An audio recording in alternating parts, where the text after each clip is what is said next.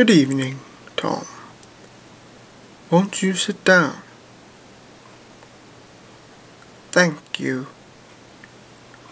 I heard that you had become headmaster. A worthy choice. I'm glad you agree. May I offer you a drink? That would be welcomed. I have come a long way. So, Tom, to what do I owe the pleasure? They do not call me Tom any more. These days I am known as... I know what you're known as. But to me, I'm afraid, you will always be Tom Riddle. It is one of the more irritating things about old teachers. I'm afraid that they never quite forget their charge's youthful beginnings. I am surprised you remained here so long. I always wondered why a wizard such as yourself never wished to leave school.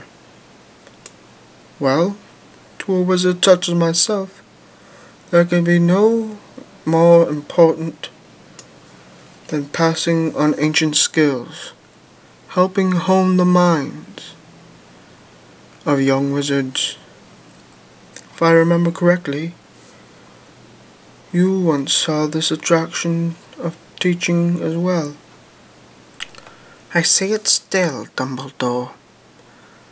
I merely wondered why you, who was so often asked for advice by the ministry, and who has twice been offered the post of minister, three times at my last count.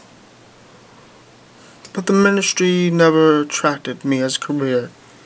Again, something we have in common, I think.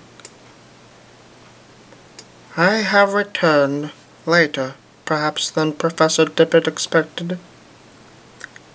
But I have returned nevertheless, to request again what he once told me I was too young to have. I have come to teach. I think you must know that I have seen and done much since I left this place. I can show your students things they could gain from no other wizard. Yes, I certainly do know that you have done much since leaving us. Rumors of your doings have reached your old school, Tom. I should be sorry to believe half of them. Greatness inspires envy. Envy engenders spite. Spite spawns lies, Dumbledore. You must know this. You call it greatness, what you have been doing, do you? Certainly. I have experimented. I have pushed the boundaries of magic further, perhaps, than they have ever been pushed. Of some kinds of magic, Tom.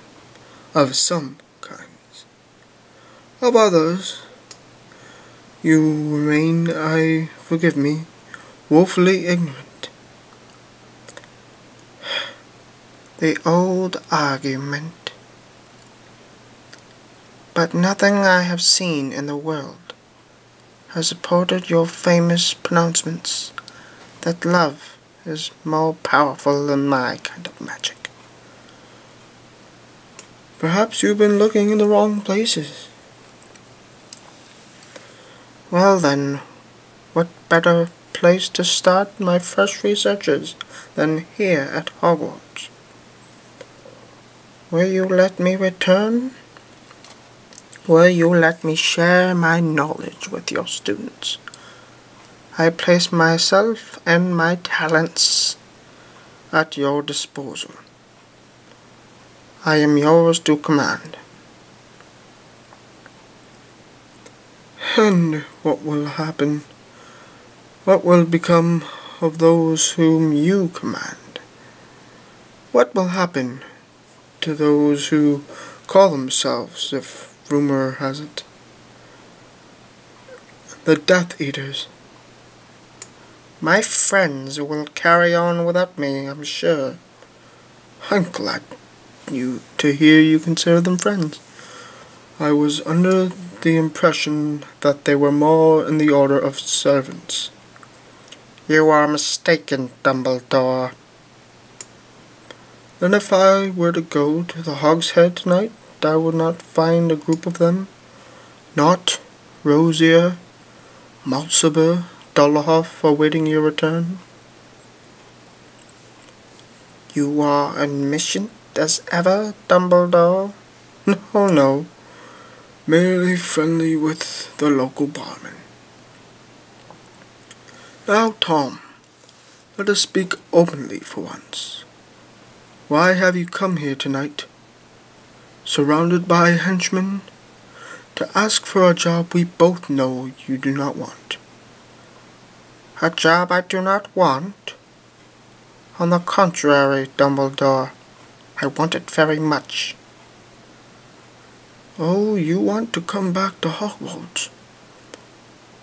But you do not want to teach any more than you wanted to when you were seventeen. What is it you are after, Tom? Why not try an open request? If you do not want to give me the job, Dumbledore. Of course I don't. And I don't think for a moment you expected me to. But you came here. You asked. You must have a purpose. This is your final word, then? It is. Then we have nothing else to say to each other. No, nothing. The time is long gone when I could frighten you with a burning wardrobe and force you to re make repayment for your crimes. But I wish I could, Tom. I wish I could.